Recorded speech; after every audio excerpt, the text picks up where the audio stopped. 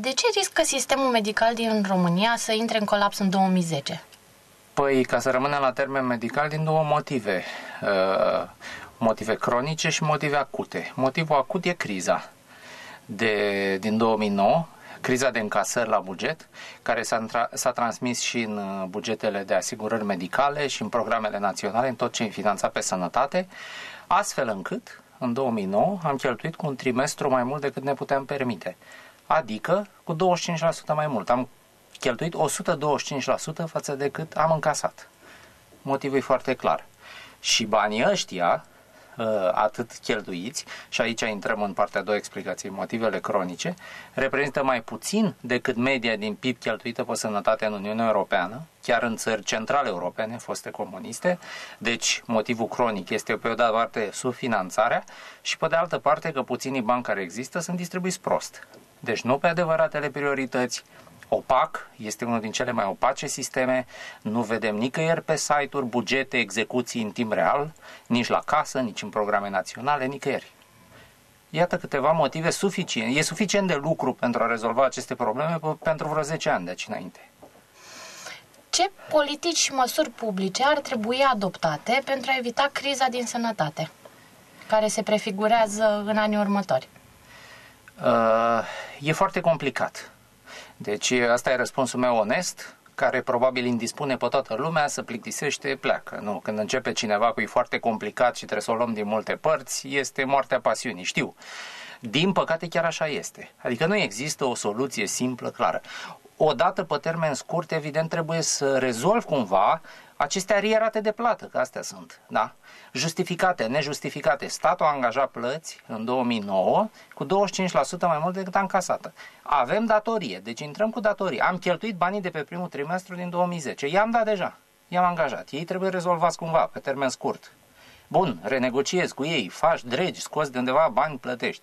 Pe termen lung, trebuie găsită soluția structurală, adică în așa fel încât anii următori să nu se mai repete această situație. Și trei, trebuie eficientizată cheltuirea. Și numai asta am putea face o discuție de două ceasuri. Eficientizarea cheltuirii. De la cheltuieli de personal, la investiții, la cum, pe ce boli, pe asistență primară, pe spitale, pe specialități. Foarte complicat. Deci, ă, subfinanțarea la noi în sistem, ca și în altele, coexistă cu suprafinanțarea în anumite domenii punctuale, Uh, într-o parte sunt prea mulți oameni, într-o parte sunt prea puțini, prea, în, în unele locuri sunt prea mulți doctori în orașe, peste tot sunt insuficienți la țară și, în general, pe România avem și o criză de resursă umană, și doctori și personal mediu. Cum vine inițiativa cetățenească de mărirea bugetului cu 6% din PIB pentru sănătate? O iau ca pe un uh, strigă de disperare al clienților sistemului, care suntem noi, de fapt cetățenii, noi suntem clienții sistemului de sănătate.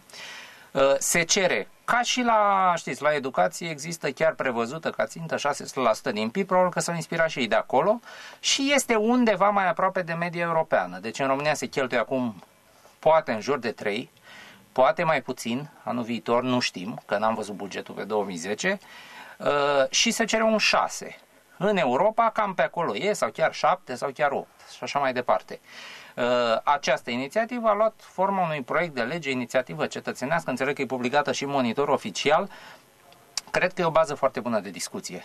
Pentru că ei propun acolo, de fapt, două lucruri. Numai despre asta s-a vorbit, cu 6%, dar mai este ceva. Propun și alocarea sau uh, uh, acordarea unei mai mari atenții asistenței primare deci să vedem cum previi bolile, cum faci un sistem care să servească cu servicii simple, Uh, fără mare expertiză și fără mare cheltuială și pe Nea Gheorghe dintr-un sat. Deci nu numai marile clinici și universitare unde ajung, uh, cum să spun, ajunge până la urmă clasa mijlocie și superioară a României, ci și pe Nea Gheorghe de la țară ca să previi multe boli cu costuri mult mai mici. Astea sunt cele două lucruri care sunt propuse acolo. Cred că e o bază bună de discuție. Nu și închipe nimeni că se va legifera acum în decembrie 2009, da? Criză bugetară, noi nu știm în 2010 dacă se vor mai da cei 3% care au fost în 2009 sau dacă nu cumva e mai puțin. Rămâne de văzut. Dar ca țintă de politici, și am avut discuții, inclusiv cu aceste asociații, cu oamenii din industrie, cu oameni din instituții, este o bază de discuție pentru un orizont de 2, 3, 4 ani. Deci la un orizont 2012-2013 trebuie să-ți propui o țintă Poate nu neapărat ca lege, dar ca țintă de politică. Deci eu asta vreau, ca un fel de strategie. Eu așa o înțeleg. Și în sensul ăsta e o inițiativă bună. E bine că lansează o discuție, care până acum n-a existat.